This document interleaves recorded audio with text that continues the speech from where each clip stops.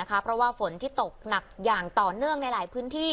ทำให้อ่างเก็บน้ำหลายแห่งมีปริมาณน้ำเพิ่มมากขึ้น เช่นที่จังหวัดน่านมีปริมาณน้ำเฉลี่ยทุกอ่างตอนนี้เกินร้อยละ 90 แล้ว บางแห่งมีน้ำเต็มอ่าง 100เปอร์เซ็นต์โครงการชลประทานน่านจึงแจ้ง ให้พื้นที่ส่วนรับผิดชอบ พร่องน้ำออกจากอ่างเก็บน้ำในปริมาณที่เหมาะสม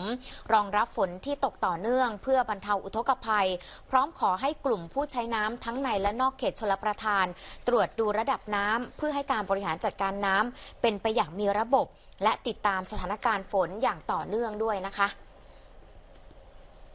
ปัจจุบันมีน้ำในอ่างนะครับ เฉลี่ยทุกอ่างเกิน 90กว่าเปอร์เซ็นต์นะครับ บางอ่างก็เกินร้อยและล้นสปินเวย์เนื่องจากจะมีฝนตกอย่างต่อเนื่องนะครับ ก็เลยคาดการณ์ว่าน้ำจะล้น จึงได้กำชับเจ้าหน้าที่และกลุ่มผู้ใช้น้ำ ได้พร่องน้ำออกจากอ่าง เพื่อบรรเทาอุทกภัย ในรุ่มน้ำที่อ่างเราตั้งอยู่นะครับ เพื่อบรรเทาอุทกภัยหาพื้นที่ท้ายอ่างนะครับ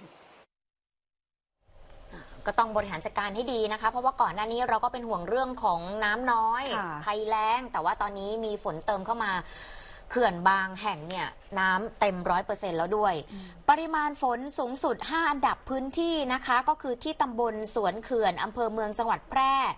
103มิลลิเมตรตำบลศพเตี้ยอำเภอจอมทองจังหวัดเชียงใหม่ 100มิลลิเมตรตำบลแม่ตื่นอำเภอลี้จังหวัดลำพูน 76.5มิลลิเมตรตำบลไทรย้อยอำเภอเด่นชัยจังหวัดแพร่ 71มิลลิเมตรและตำบลถ้ำลอดอำเภอบาง ปางมับผ้าจังหวัดแม่ฮ่องสอน 70.5 มิลลิเมตรค่ะ ส่วนคาดการปริมาณฝนจากกรมอุตุนิยมวิทยาในวันนี้